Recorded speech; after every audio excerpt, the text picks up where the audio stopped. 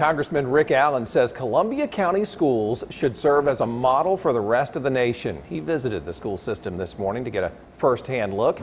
News Channel 6's Chloe Salsameda live at the Board of Education now. And Chloe Allen says he's going to talk to other leaders in Washington about Columbia County.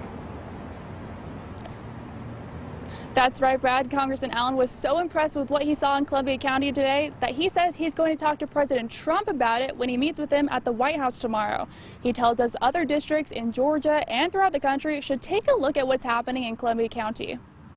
It is amazing what uh, what this team has done here. Nothing but praise from Congressman Rick Allen after his visit to Columbia County Schools on Wednesday. He toured Grovetown Elementary School and his alma mater, Evans High School, to see the steps they're taking to keep infection rates down.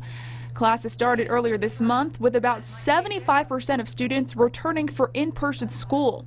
It's not an easy task, but the district is taking many steps to keep schools safe. This is working. Look at that 0.08 percent infections, you know, that's, that's unbelievable. Columbia County is implementing new technology into schools and buses to keep them clean, like ionization modules that kill bacteria in the air.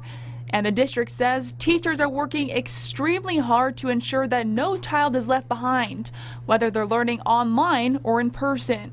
How good it is to see people who will get on that front line and fight and fight for these students and the future of this country. Superintendent Dr. Sandra Carraway tells us it hasn't been easy to transition to this new way of schooling, and they're still learning as they go. And so we continue to watch our numbers, to watch what the experts say, and to watch the numbers in our community, and we'll adjust our plans as we need to. And Dr. Carraway also says the district, students, and parents need to keep working together to keep infection rates down. Coming up with the news at 6, we'll talk about the new technology that's being implemented in schools. In Columbia County, Chloe Salsameda, WJBF, News Channel 6.